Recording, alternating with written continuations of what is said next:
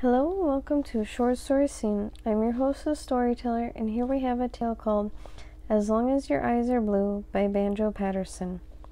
Will you love me, sweet, when my hair is gray, and my cheeks shall have lost their hue? When the charms of youth shall have passed away, will you love as of old prove true? For the looks may change, and the heart may range, and the love be no longer fun. Will you love with the truth in the years of youth, and the way with the years beyond?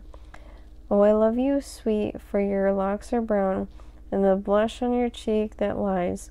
But I love you most for the kindly heart that I see in your sweet blue eyes. For the eyes are the signs of the soul within, with the heart that I led the true.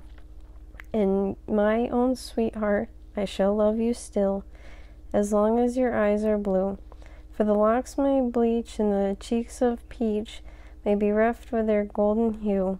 But my own sweetheart, I shall love you still, just as long as your eyes are blue. And that can concludes our tale, As Long as Your Eyes Are Blue by Banjo Paterson.